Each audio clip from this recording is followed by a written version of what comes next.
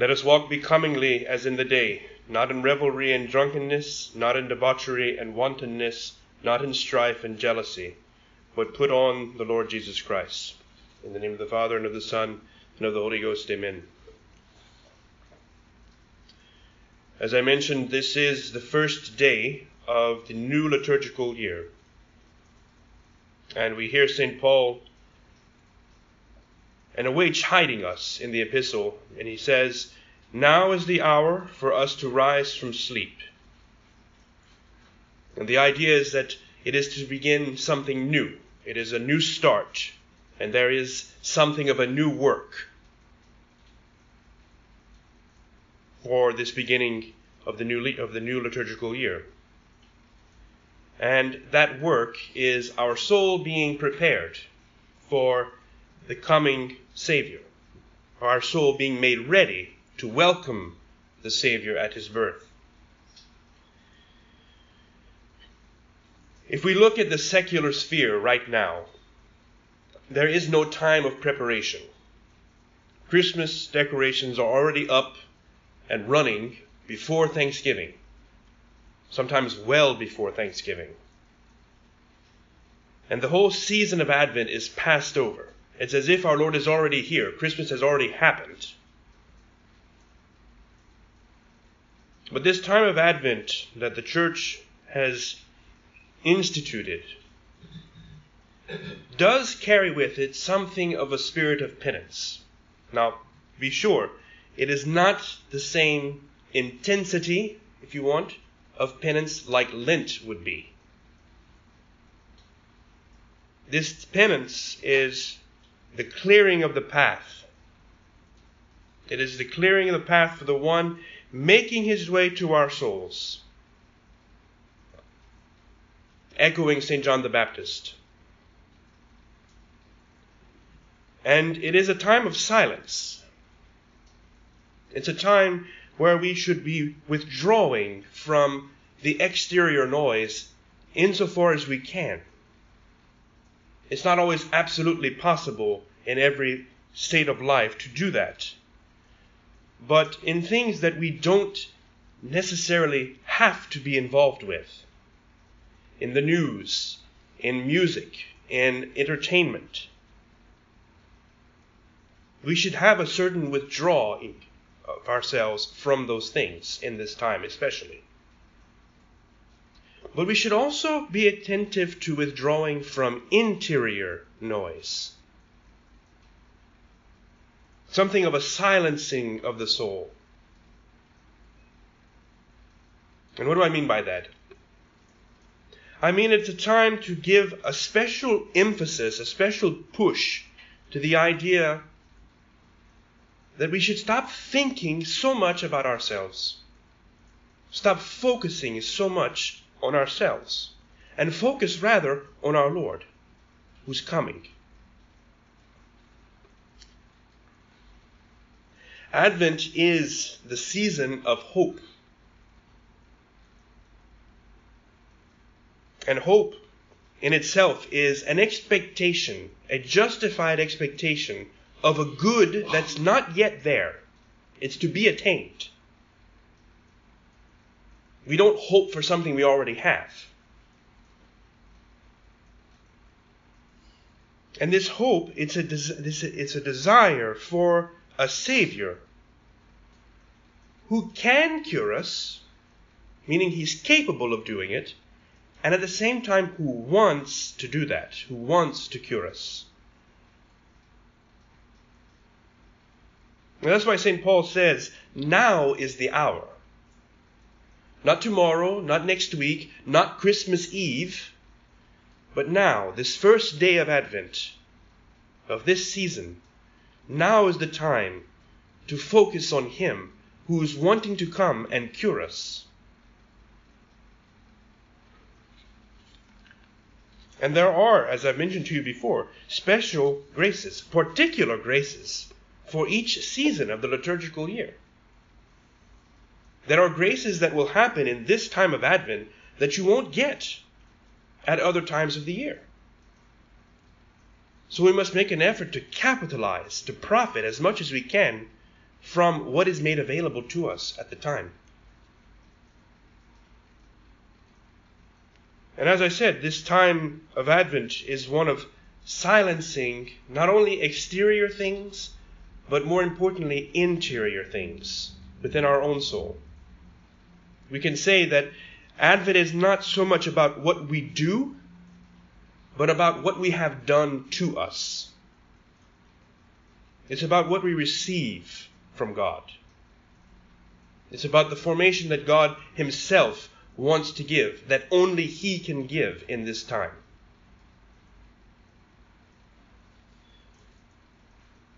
And we see this idea expressed in three figures, three individuals at the beginning of this liturgical year.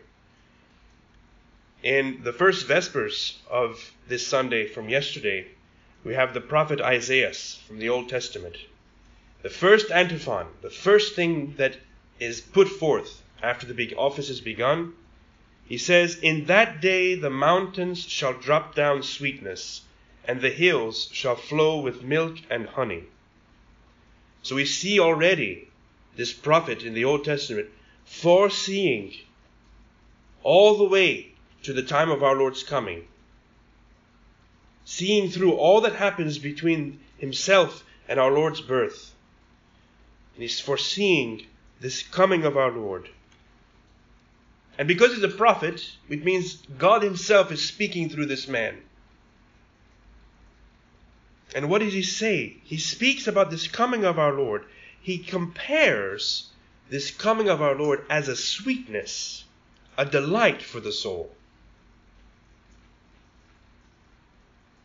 This sweetness, this imagery of milk and honey, for us it's a bit lost. The imagery is lost because we live in a commercialized age.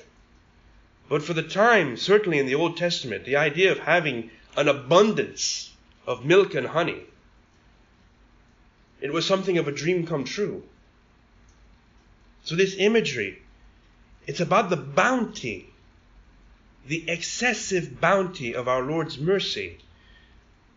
And it's flowing like these substances of milk and honey, just pouring out.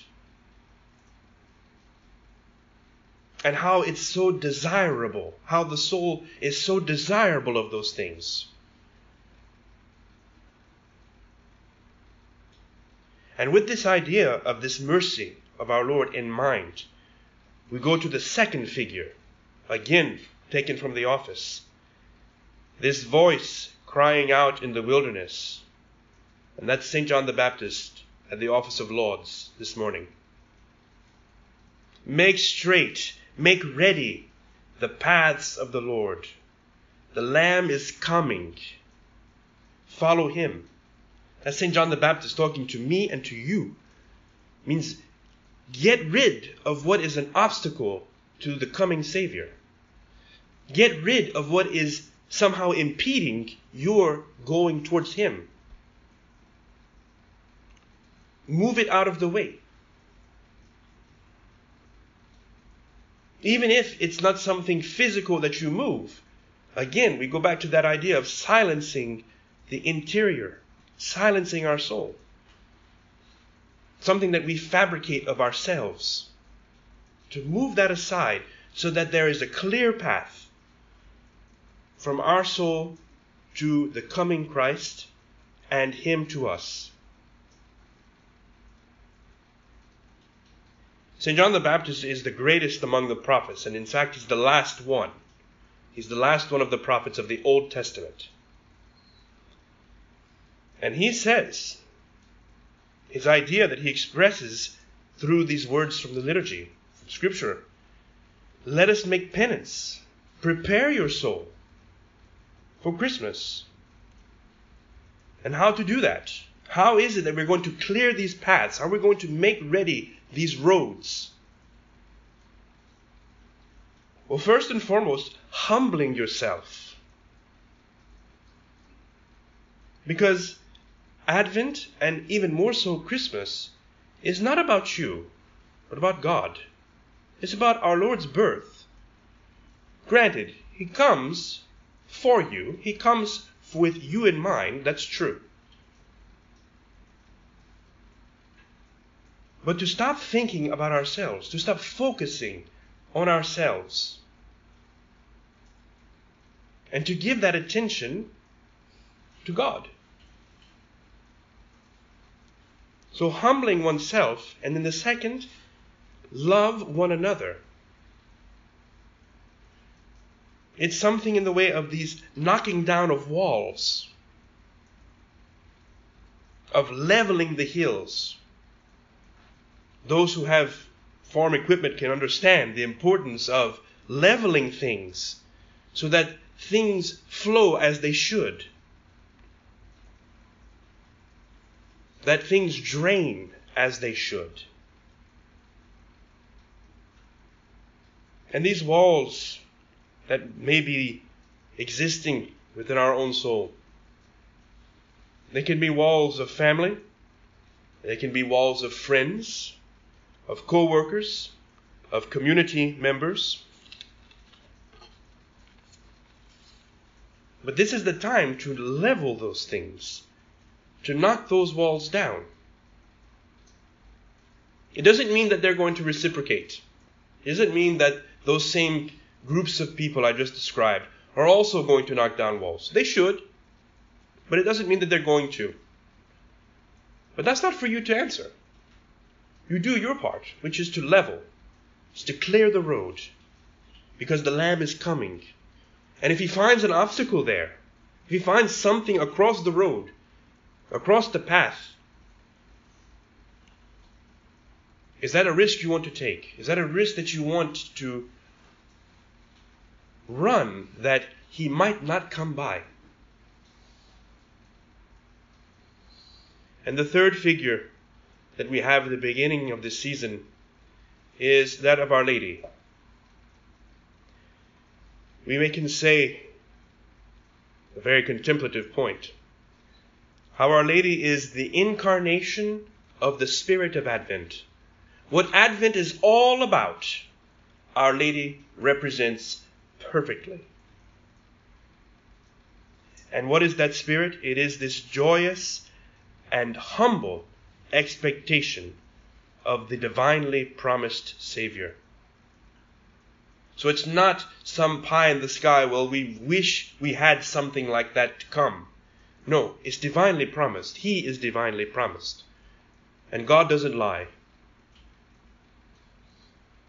And it's joyous because He comes. He is coming for you. But at the same time, it's humble because we recognize that he doesn't have to come. There was nothing, necessary. we may say, that obliged God to do what he did, that obliges him still to come spiritually. But yet, this same idea of this forgetfulness of self, of humbling ourselves, that is perfectly expressed in our, in Our Lady's behavior in this time. As I said, she is the incarnation of what is the Spirit of Advent. And so we should spend these four weeks, these four weeks that symbolize the 4,000 years from the time of Adam to the birth of our Lord. 4,000 years compressed into four weeks. We should spend those weeks of Advent with Our Lady. We should be trying to imitate her spirit in this time, expecting in silence, in meditation, in humility, the coming of the Savior. So silence your soul in union with her. Put aside even if it's only for this season of Advent, put aside your interior soapbox and silence your soul in union with hers to prepare the path that her Son wishes to take in order to come to you. God bless you. In the name of the Father, and of the Son, and of the Holy Ghost. Amen.